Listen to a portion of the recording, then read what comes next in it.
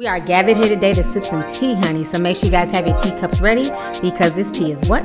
Piping hot. Hey, you guys, it's your girl T, and I hope everybody's doing good today. Make sure you guys have your teacups ready. Get ready. Y'all get ready. Yes, you get ready. Because this tea is what? Piping hot. So on November 6th, it was announced that Meek Mill was sentenced to jail time. So what basically happened is that Meek Mill was sentenced to two to four years in state prison for failing a drug test and for leaving town without permission, which are both violations of his terms of probation for a nearly 10 year old gun and drug case, okay? So we know that Meek Mill has been on probation forever and a day, and he basically violated it. And it's causing a lot of controversy online. You see a lot of folks upset. They're blaming racism, they're blaming the system. They're saying, you know, a white man can rape somebody and get six months. Another white man can do something and get less time. All this black man did was some drugs. He left town, and you guys are trying to give him two to four years. That's bullshit. We've had folks like Kevin Hart come out and show him some love because we know that they're both from Philly. T.I. has also spoken out about the situation, how unfair it is. Um, a lot of celebrities have taken to social media to have Meek Mill's back, but the most prominent person who's speaking out is Jay Z. And rumor also has it that supposedly the judge on the case, the judge on the case supposedly wanted Meek Mill off of Roc Nation and to get one and to sign to her friends' record label, and Meek Mill refused. So now there's all types of conspiracies about that. Um, so the whole situation is interesting. I'm gonna go ahead and show you guys what Jay Z had to say about the situation. Jay Z says the sentence handed down by the judge against the recommendation of the assistant district attorney and probation officer is just unjust and heavy heavy handed. We will always stand and support Meek Mill, both as he attempts to, to write this wrongful sentence and then in returning to his music career. Do I think the sentence was heavy handed? Possibly. But at the end of the day, I see a lot of people blaming the system. They're blaming the white man. You know, this is all a conspiracy to lock down rich black men. But I've seen, I've really seen anybody talk about personal responsibility. I see a lot of folks making excuses for Meek Mill. But what I find funny is that even if you Google Meek Mill locked up or Meek Mill arrested, He's been arrested numerous times for different violations, and they've constantly given him chance after chance. In August of this year, he was reportedly arrested for riding his ATV um, through the Inwood section of New York. He was driving dangerously. Um, so then he got arrested for that. Then we had the whole assault situation that happened at the St. Louis airport where he got into a fight for that. Not to mention the whole drama that happened with him and Safaree. You know, I'm sure his probation officer was watching that as well.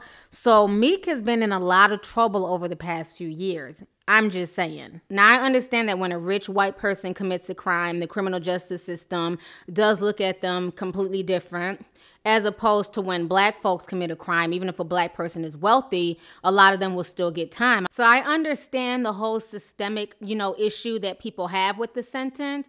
But at the end of the day, if we all know that the system is biased, okay, we all know this. You don't have to be a rocket scientist to see that the system is biased. So, with that knowledge, I, am confused as to why we keep setting ourselves up for failure. Why we keep getting ourselves in stupid situations to one, be on probation because probation is just nothing more than okay we're gonna give you a chance right now because we know you're gonna fuck up sometime in the future who the hell sits on probation for 10 years you get what i'm saying so if we all know this is happening why are we still setting ourselves up for the okey doke? Why is there no personal responsibility? So, who forced Meek Mill, you know what I'm saying, to take drugs and fail his drug test?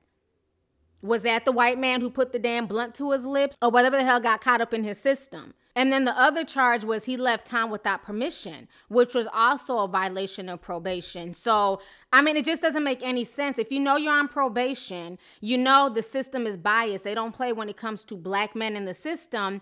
Why would you set yourself up for the okey doke?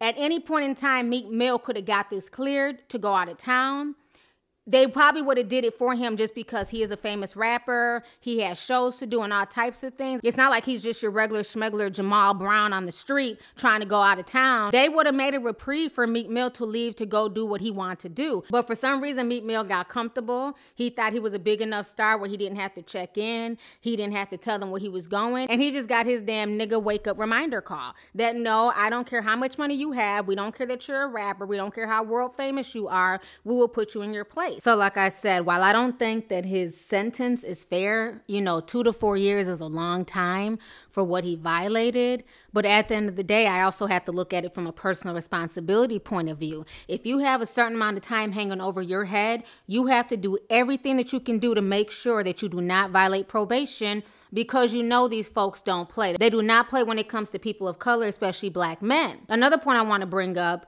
is that I know in a few videos ago when I was talking about all this stuff that was going on with Harvey Weinstein and you know how he's able to get away with all this nonsense and how the reason why he was able to is because people are so enamored with fame and celebrity. And we're raising a whole generation of children that you know they want to be famous. They want to be rappers. They want to be entertainers. They want to be ball players and see, that's the problem that Jay Z doesn't realize that it's a lot deeper than it just being an issue with the district attorney. And that's one thing that I wish that Jay Z, Hotep Carter would touch on. The fact that, you know, we're raising an entire generation of kids to look up to the Meek Mills and the Jay Z's and to aspire to be rappers, but we're not raising this next generation of kids to be lawyers, to be DAs, to be judges the reason why so many black men get railroaded in the criminal justice system, personal responsibility aside, okay, I already addressed that. Personal responsibility aside, the reason why so many of them get railroaded is because there's no one who looks like us in these courtrooms. There's no one who looks like us who's defending us. There's there's not a lot of judges who look like us. There's not a lot of attorneys who look like us. So when somebody like a Meek Mill or Jamal Brown goes into the courtroom, they're not going to have that same level of empathy because it's two different races. You know, y'all can talk all that kumbaya bullshit that I don't see color and, you know, there's no color in the world and there's no such thing as black and white and, you know, I love everybody, whatever. When it comes down to it, people see color. I know I see color every damn day. People see color. People who work in the criminal justice system definitely see color. And we need to address the bigger picture. This is bigger than Meek Mill going in to go do two to four years. This is also an issue where we don't have enough of us in these courtrooms, you know what I'm saying, giving us second chances and fighting for us. It seems like nobody really wants to address that issue. Everybody wants to scream about racism. But again, what are we going to do to change that? Because screaming about racism and saying that, you know, his sentence isn't fair and, you know, he's a good rapper, so he shouldn't have to do any time. I mean, that's fine and dandy. You have the right to your opinion.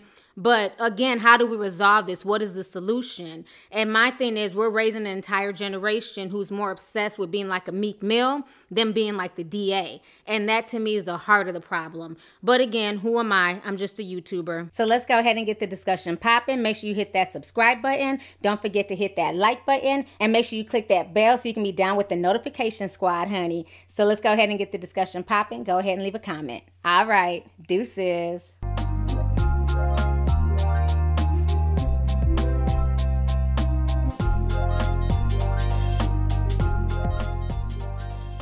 Hey you guys, it's your girl T. Make sure to subscribe, like, and share my videos. You can also visit lovelyti.com to purchase any merchandise. Also, don't forget to click the boxes down below to watch any of my previous videos.